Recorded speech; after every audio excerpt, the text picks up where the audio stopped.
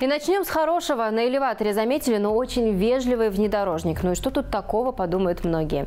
Внимание он привлек тем, что пропустил практически всех. Представляю, как у автомобилистов, которые за ним ехали, нервы сдали. Что за ужас тут творится? Вы вот там пропускаете, а ваш ряд, между прочим, из-за этого стоит. Так пробки и образуются.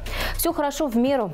Это я к чему? Возможно, из-за этого и появляются вот такие торопыги, которые стоять не хотят. Мужчина на Истане мало того, что с левого ряда направо, так еще и на встречную выехал. А там, между прочим, автомобиль ехал. Тут, кстати, часто такие индивидуумы путь сокращают. Правда, здесь пропустить его никто не захотел. Я даже запереживала, не назревает ли конфликт. В итоге автобусу пришлось уступить. Что?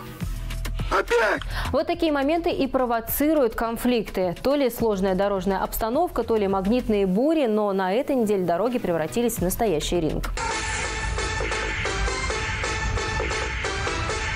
Это хорошо, если вы выпустили пар и дальше поехали. А если в порыве гнева вы переусердствуете или, не дай бог, упадет человек как-то неаккуратно. Подумайте, стоит ли так свою жизнь усложнять. Тот же вопрос к водителям, которые пешеходов не хотят пропускать. Интересно, тот, кто за рулем мысли человека на зебре читал, откуда вы знаете, что он ускорится или наоборот остановится? Да и вообще скользко же, можно и вовсе не затормозить. Вот вам пример.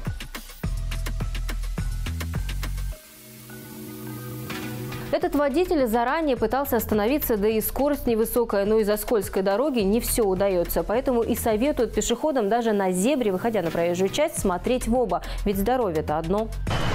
Смекаешь? Стоит помнить об этом, если не этому подростку, то хотя бы его родителям. Дарите самокат, может, стоит и правила объяснять. К примеру, что проезжая часть, ну, не место для развлечений. Да, понимаю, что по нашим тротуарам только на внедорожниках и проедешь, да и от этой плитки, которая пляшет по уровню, никакого удовольствия, в том числе и эстетического. Но тут городским властям виднее. No! Наши чиновники, видимо, считают, что и парковок в Улан-Удэ хватает, а иначе почему проблему годами не решают? Вот люди сами исправляются.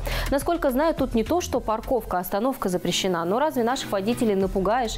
Интересно, а куда делся паркон? Мне помнится, у нас по городу машина интересная ездила и таким водителям штрафы раздавала. Но пока, видимо, ничего не остается, как снимать таких нарушителей. Отправляйте видео нам, покажем и расскажем о наиболее частых нарушениях.